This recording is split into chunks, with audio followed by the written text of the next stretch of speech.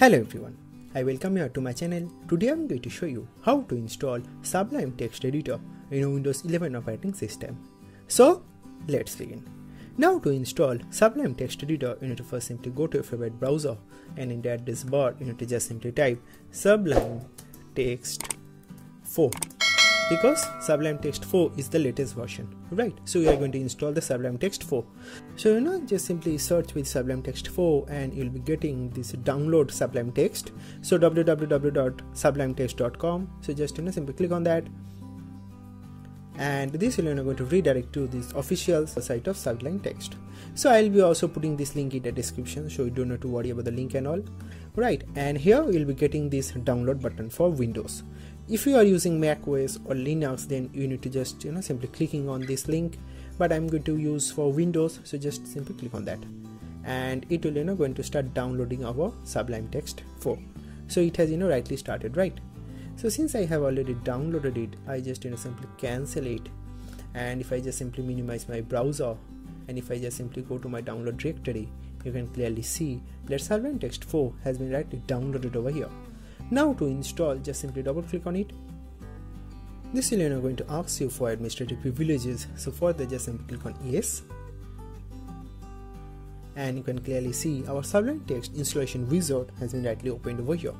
So let us first minimize our download directory and this is going to be our installation destination so if you want to change that you can always click on browse and you can do that but i'm going to keep this as a default and then just simply click on next and now it's asking whether you'd like to add to explore Explorer context menu. So I'll be also recommending you to check this.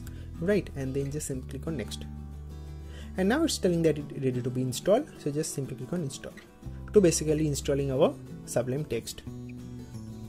So this is just a small 18 MB file. So it will know, going to install at a very rapid pace. And you can clearly see that our Sublime text has been rightly installed.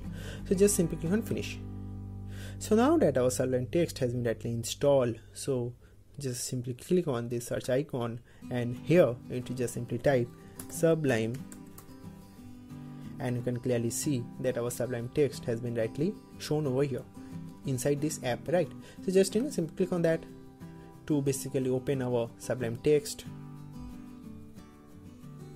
And you can clearly see that our sublime text has been rightly opened over here in here, I am going to run a simple HTML file so that you can understand how the things actually work.